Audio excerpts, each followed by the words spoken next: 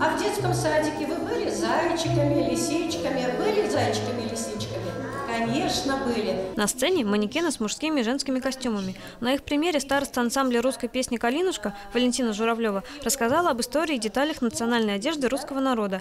Она сама участвовала в создании ряда костюмов для выступления коллектива. По одежде можно было догадаться, откуда этот человек, где он живет.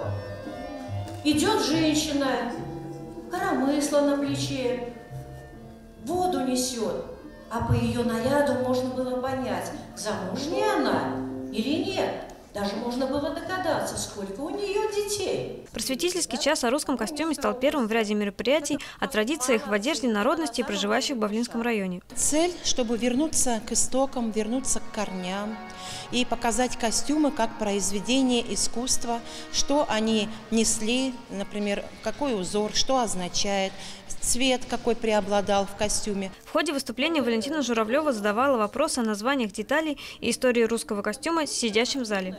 Активно отвечали, подтверждая хорошее знание истории своего народа и старшее поколение, и юные зрители. Особенно ярким моментом встречи стало театрализованное представление «Пришла Каледа» от артистов Крымсарайского сельского дома культуры. Дети исполнили колядные песни, присказки, заглички, прославляя Каледу. В